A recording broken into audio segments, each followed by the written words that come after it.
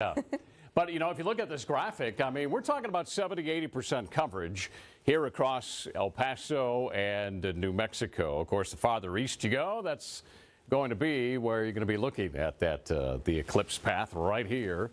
Uh, making its way towards the northeast. Now, if you look at our weather, we're uh, forecasting for the eclipse, and you can see we're going to see some clearing here. So it's not looking too bad right now, but you can see the path of this going to come through a lot of clouds. So I still think a lot of folks going to be disappointed who are going to be heading out there to see the eclipse. And uh, so we'll continue tomorrow. I mean, we still got some time. Uh, things could change a little bit, but still looks fairly decent for us here across New Mexico and far west Texas. Here's what we're tracking. You know, we have some rain.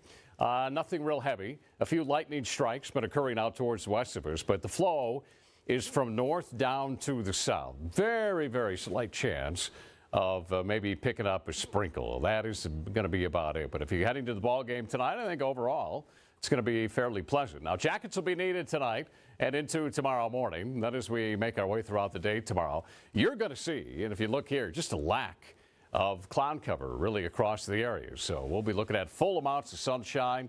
The winds are not going to be a problem. So whatever outdoor activity you got going on tomorrow, maybe you're thinking about doing some work outside. I mean, it's going to be just a great day to do so.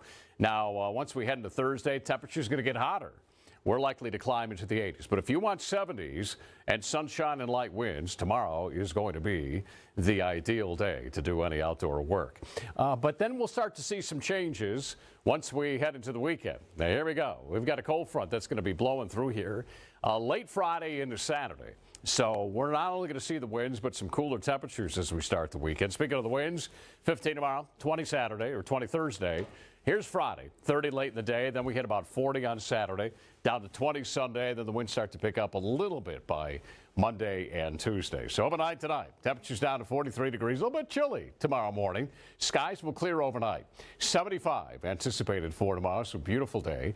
38 overnight for you guys in Las Cruces, so a little chill in the air tomorrow morning. You're going to be getting up 6 to 7 o'clock in the morning. 74 will be your high temperature with lots of sun.